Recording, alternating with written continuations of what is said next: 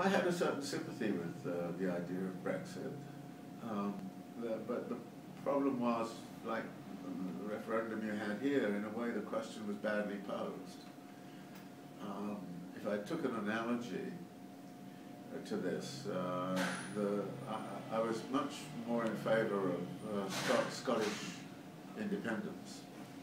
And I was in favour of Scottish independence not because I believed in Scottish national identity or Scottish culture or anything like that, but because the purpose of the separating Sc Scotland from, from London was to get out of the austerity politics. And, and so here you had a, ter a territory that was saying we want to get out of the control of this, this government that is, that is not delivering goods to the people. So I, I was very much in favour of that. Now, Brexit was never really posed in those terms. Uh, and, you know, for me it was a very, would have been very difficult decision to vote one way or the other.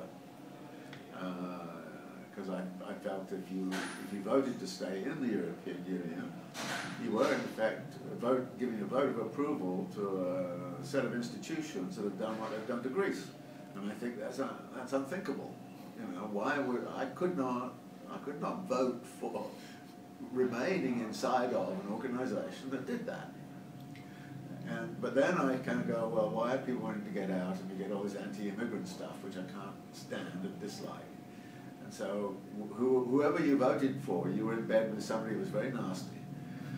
And, and that was the same as the American election. You know, whoever you voted for, you were in bed with somebody who was very nasty didn't want. So I, I think uh, for me Brexit was, it, it could have been a, uh, a, a, a, good argument about, all right, well, in what ways do we want to use a, a sovereign power of the state, which has been diminished by membership of the Union, to undertake a different political program. But that was never really put on the agenda. It was never really fought for.